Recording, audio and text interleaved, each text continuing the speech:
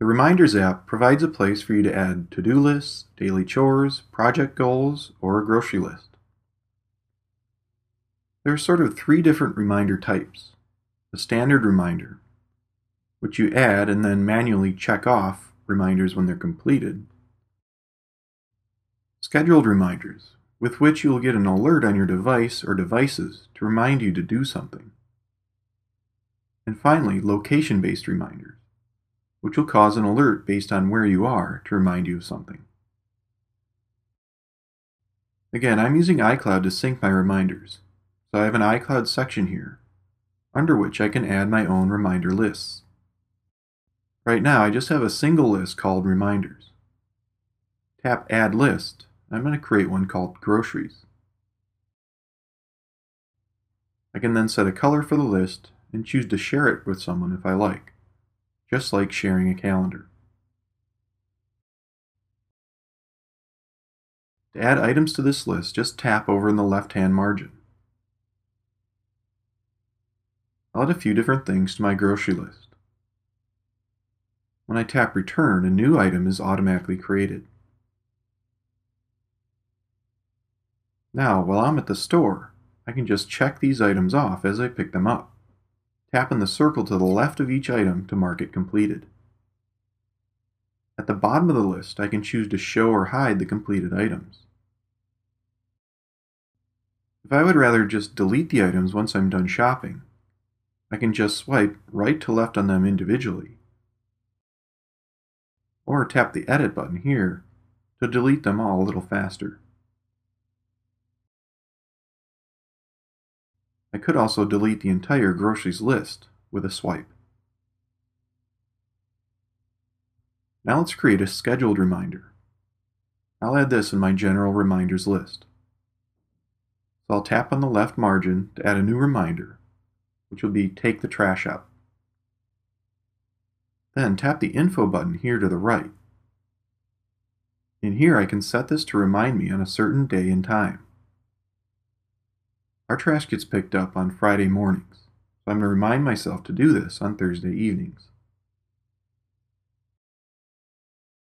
Tap repeat and I can set this reminder to occur at a certain interval. In this case, the trash is picked up once a week. I could set an end date for the reminder, but I don't need to do that for this one.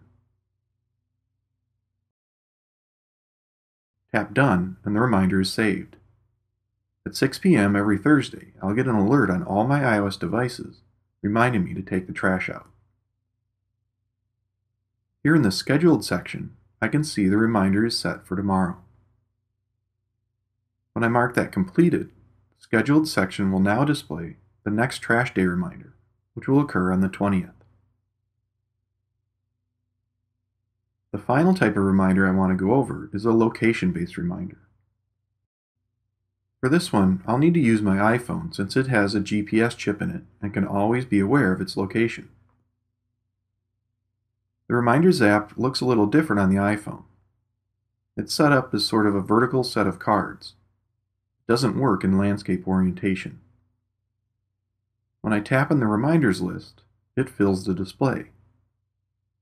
To go back to all my lists, I just need to swipe down. Swipe down from the All Lists view, and I can get to a search field, or the Scheduled Reminders button.